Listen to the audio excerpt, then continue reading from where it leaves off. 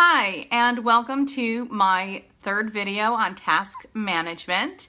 If you haven't watched my two previous videos, I suggest you do that first. Otherwise, this might not make as much sense to you or be as helpful to you. You can scroll down on my Facebook page to find that, or you can find that on my YouTube channel. My name is Chrissy Blevio. I'm a very busy mom and an entrepreneur.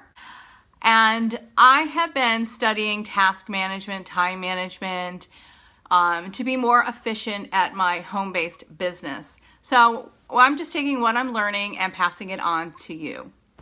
So tonight we're going to be talking about frogs versus tadpoles, or things that matter most should never be at the mercy of things that matter least.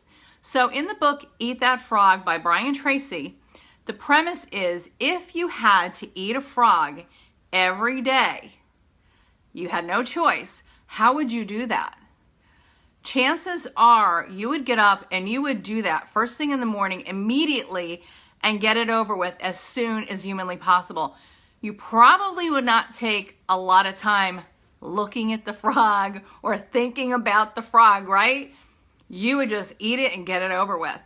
Well, many of your A tasks, and we spoke about, we learned about A tasks in the last video, many of your A tasks, which are your most important high priority tasks, very often some of those tasks are tasks that you don't really like to do.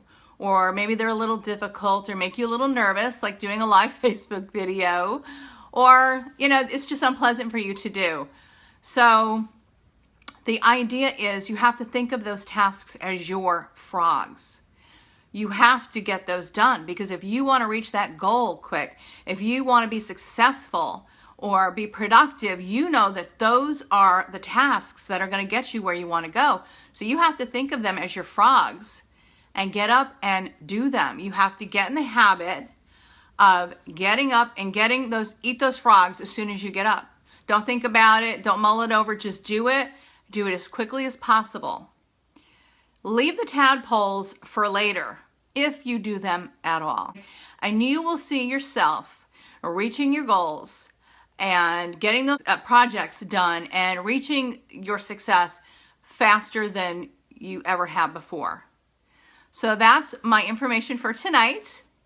If you like the information, you found it helpful, you like my video, please comment, leave me a comment and some feedback in the comments section. If you have a friend that you think would benefit or be interested in this information, you can find the text version of this video will be on my blog tomorrow, by tomorrow afternoon, hopefully. And that's at chrissyblevio.com. And that's it. So thank you so much for joining me tonight. You have a wonderful evening.